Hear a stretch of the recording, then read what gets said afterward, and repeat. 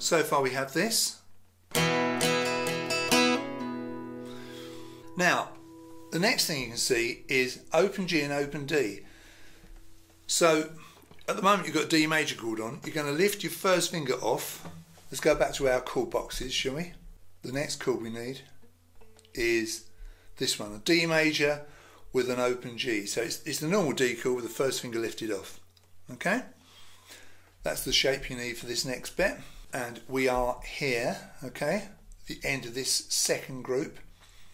So we're going to play the D and the G strings open. Just a reminder that we're going to basically keep this D chord on for all of this section, just lifting bits off here and there, adding bits. But your base shape, if you like, is the D major. So here, with our first finger lifted, we can play a D and a G string open like this. So let's put that together. Keep going back.